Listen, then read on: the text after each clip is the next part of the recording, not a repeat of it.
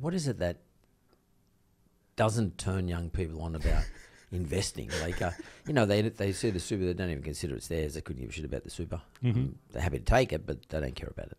Um, they're not thinking, and, and equally, they're probably living day by day. They're not thinking about what's going to happen when I turn 65 or whatever retirement age will be in that. But by the time they retire, was it? What is it in their heads? Um, do they give up? Are they giving saying, oh, "This is all too bloody hard. I'm never going to get a house like mum and dad have got"? Is it about that? Or? I reckon it's exactly that. It's going, why would I listen to someone who did this 50 years ago?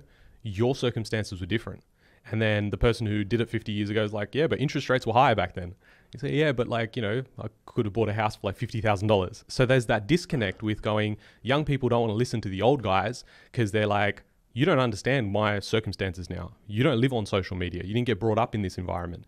And I think because of that, they're like, some old dude's talking about super. Well, I'm not going to listen to